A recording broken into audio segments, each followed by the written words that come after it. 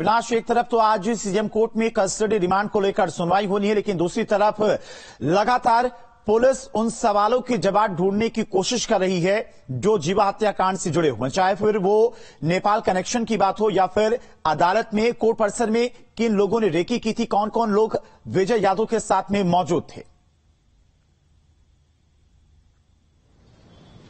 बिल्कुल सही कहा आपने। देखिए, पुलिस अलग अलग एंगल से इस हत्याकांड की जाँच कर रही है। हालाँकि देखिए पुलिस के पास अभी भी सवालों की एक लंबी फहरिस्त है, जिसका जवाब आना अभी बाकी है, क्योंकि विजय यादव से अभी तक जो पुलिस की पूछताछ हुई है, उस पूछताछ में देखा जाए तो उसने कुछ चीज़ें ज़रूर बताई है। लेकिन कई जो उसके बयान है, कई उसके जो जवाब है, उसमें विरोधाभास साफ़ तौर पर देखा जा सकता है। और यही वजह है कि पुलिस ने कस्टडी रिमांड के लिए सीजीएम कोर्ट में अर्जी दी थी, जिस पर आज सुनवाई होनी है।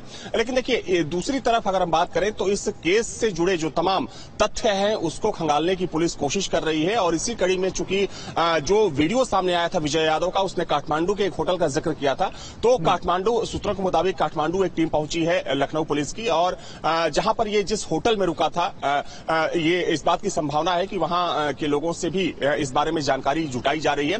एक चीज़ आपको और बता दें कि बिहार में भी एक टीम गई हुई है क्योंकि जो जो वेपन जिस वेपन का इस इस्तेमाल किया गया था। कहा जा रहा है कि कहीं ना कहीं उसमें एक बिहार कनेक्शन है। तो उस चीज़ को भी उस पॉइंट को भी पुलिस खंगालने की कोशिश कर रही है। और साथ ही में देखिए पुलिस दरअसल इस बात का भी पता लगाने की कोशिश कर रही है कि जब इस हत्याकांड को अंजाम दिया गया लखनऊ कोर्ट परिसर में तो क्या वहाँ पर सिर्फ़ विजय यादव था या फिर और भी लोग थे जो विजय यादव को पीछे से बैकअप सपोर्ट दे रहे थे? चूँकि ये बात सामने आ चुकी है कि वहाँ पर दो से तीन और लोग मौजूद थे।